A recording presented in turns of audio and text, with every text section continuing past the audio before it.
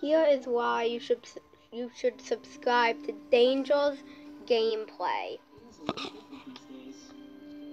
He is bad YouTuber.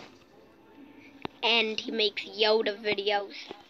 That's why you should subscribe to Danger's Gameplay.